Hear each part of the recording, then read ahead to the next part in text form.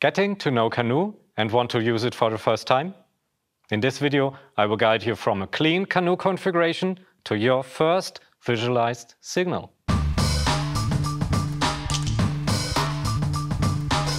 Hello, I'm Christian from Vector Support.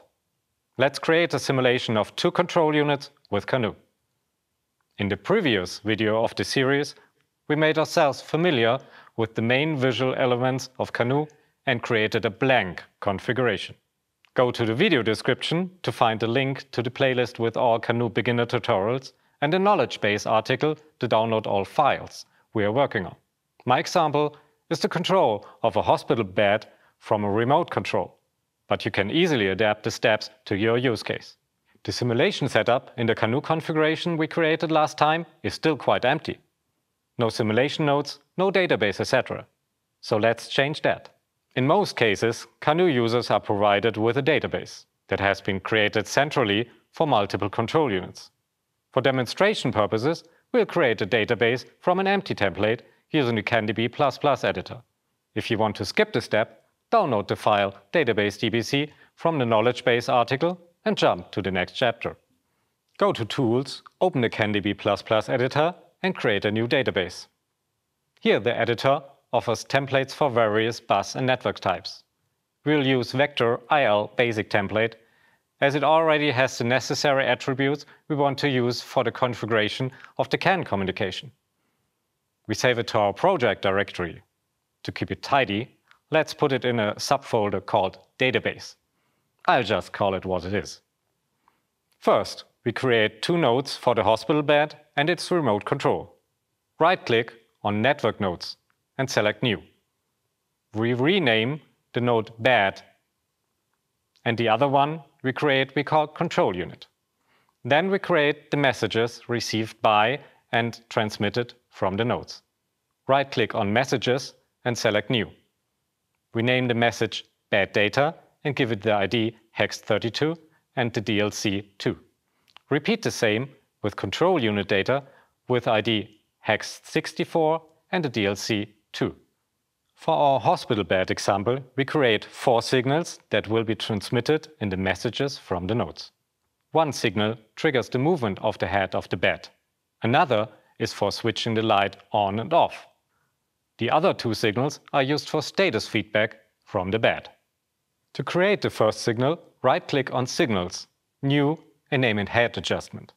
The signal is 2 bits long and assigned integer. A positive value means move up. A negative move down. Zero is no change. In the same way, the signal head position is created. It is 8 bits long. We will repeat this procedure with the light and light switch signals. Then we assign the signals to the messages via drag and drop. The signals sent from the control unit to control unit data and the signals coming from the bed to bed data. For the signal light, we also want to use a value table, allowing CANoe to show symbolic names in addition to numeric values. 0 for off and 1 for on. Via edit signal, we can add the created value table to the signal. Via edit message and layout, we can see how the signals are arranged in the message. You could also rearrange them here. Last but not least, we configure a cycle time to the messages and drag and drop the messages to the corresponding sender network node. Let's save our database before we close the CanDB++ editor. So, we have our database, either created from scratch or from a pre-existing file, like the one from the example files from this tutorial. In any case, we still have to add it to our configuration. Go to the Simulation Setup window, right-click Database and choose Add to grab our file. In the next step, we synchronize the nodes from the database with the CAN network in the simulation setup. Right-click on the database and select Node Synchronization. We assign all nodes we want to use in this CANoe configuration. Click Next and Finish. Now we have fulfilled the preconditions to start our measurement. We do this with the flash icon. In the right window, we see some system messages. Let's open the trace window again. We see frames sent from the bed and a control unit node at increasing timestamps. When we expand the frames, we discover the signals within.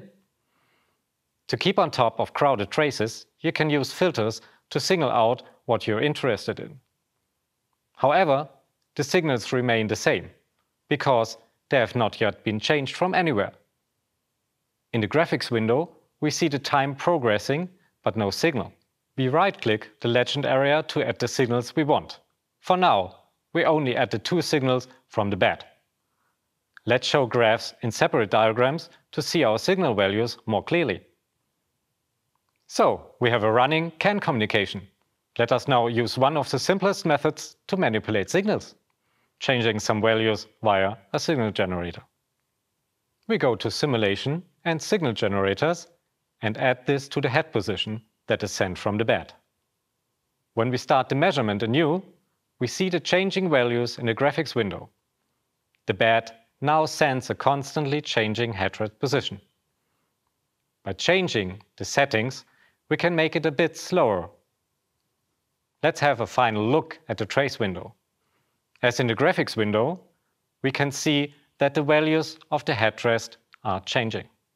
I must admit, the constantly changing headrest is not very comfortable for the patient. Luckily, this is just a simulation.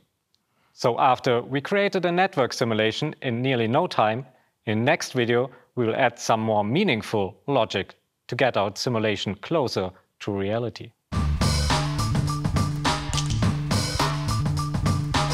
If you want to follow along with our tutorial series, check out the playlist Getting Started with CANoe and vTESTstudio and subscribe to our Vector Tech tutorial channel for more videos. In the next episode of our series, we will program some logic to our nodes. Stay tuned.